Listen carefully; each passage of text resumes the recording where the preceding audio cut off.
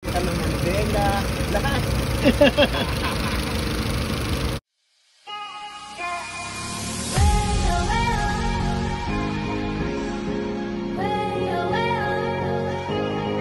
Pero na ako suluhan.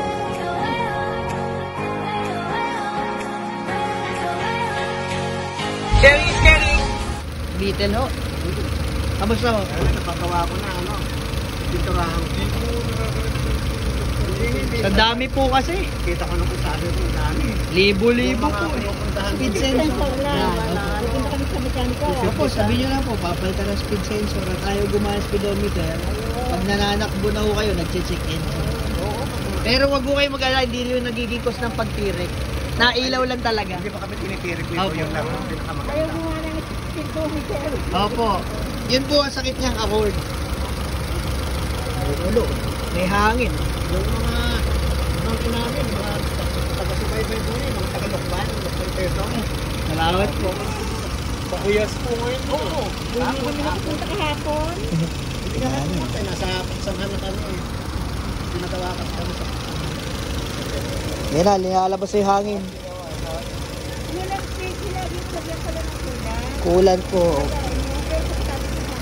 Pero ipapagawa na talaga. Opo, kaya po yan nabula, hindi makasirculate ng maayos. Ngayon na kasi masabi pa ano, kalahati na eh. Pumasok na ako.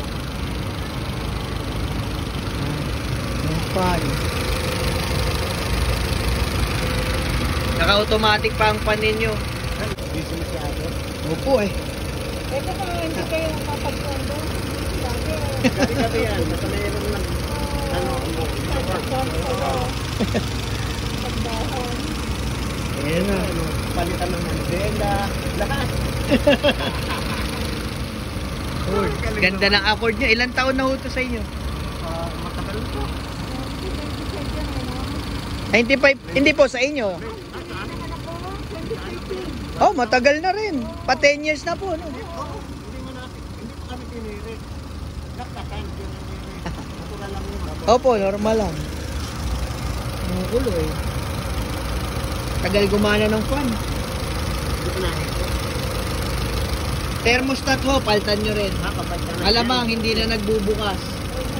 Opo, kaya ganyan. Kumukulo na, hindi pa nabukas. Nandito po yung nakapwesto. Thermostat po. Paltan lang, wag aalisin, paltan. Kasi yung iba tinatanggal. Nako, hindi na ho magpapunction ng maayos yung mga sensor. Paltan lang. Tagal bumukas, eh, nakakulo na.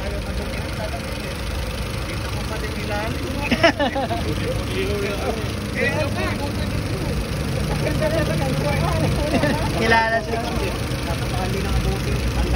Kaya kaya nyo yan. Tatay.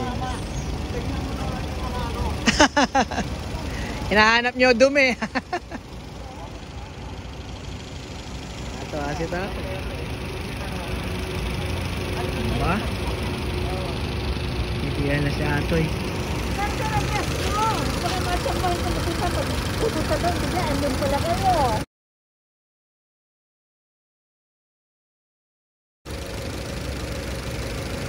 Para doon kayo, pwede kayo pumunta doon.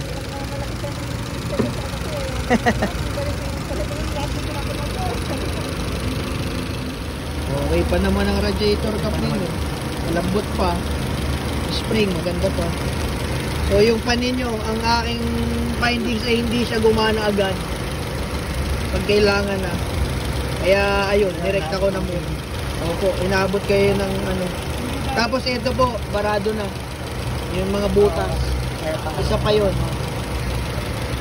So, pagka overhaul, ho, kulant na kayo. Tapos, ito po, medyo malutong na yung itong hose na ito. Balik na to. Ayun, oh, medyo crispy na ho pag pinipindot eh. Saka nga kapalit na rin yung Belt po. Di pa ako yung nagpalit ng belt.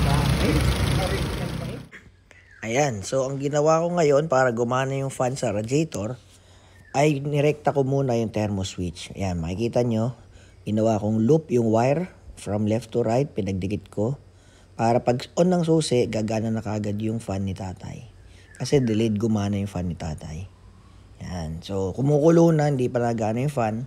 Kaya inabot ng overheat si tatay. Nagtapon na ng tubig, nag high pressure na. Yan, binigyan pa akong mangga ni nanay. Thank you.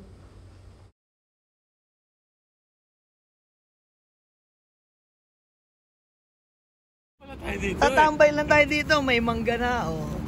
May mga kaibigan tayo, lalapit sa atin, ay natulungan pa tayo. Saya-saya ni nanay.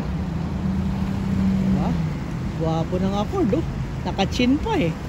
Stock mugs.